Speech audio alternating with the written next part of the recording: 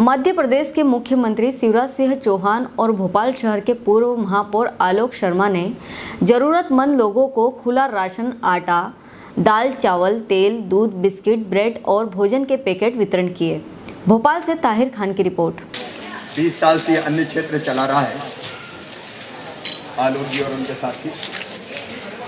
और आज corona virus के संकट के समय। हेमंत हेमंत मेरे मोबाइल मोबाइल और भाइयों को भोजन की व्यवस्था करवा रहे हैं। इस काम में लगे सभी कार्यकर्ताओं को साथियों नहीं हो पाएगी फिर सब जगह। हृदय से धन्यवाद देता हूँ। हम सब दूरी बना के रखें। कोरोना से लड़ाई हमारी चल है। रही है। हम लड़ेंगे और निश्चित रूप से जीतेंगे। लेकिन घर में रहें।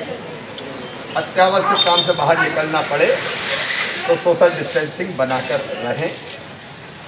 मैं आज माँ आशापुरा दरबार के सभी साथियों को धन्यवाद देता हूँ। बहुत बहुत धन्यवाद। सर जब तक क्या स्थिति पूरे भोपाल में और मध्य प्रदेश में दिख रही है? कंट्रोल है इंदौर में हम चिंता कर रहे हैं। टोटल लॉकडाउन इंदौर में किया गया है। जागरूक नागरिक है इंदौर के।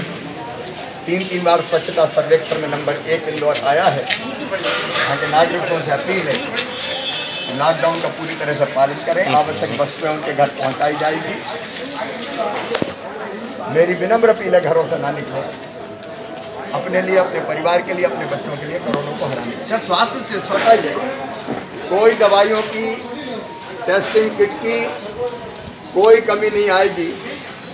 हम हर संभव उपाय कर रहे हैं जिससे कोरोना को परास्त कर सकें गरीबों को राशन किसानों की भी हम चिंता कर रहे हैं। हेलो फ्रेंड्स आप देख रहे हैं हमारा channel S W twenty four news हमारे सारे वीडियो सबसे पहले देखने के लिए आप हमारे चैनल को सब्सक्राइब करें और पास में लगे बेल आइकन को दबाना बिल्कुल भी ना भूलें।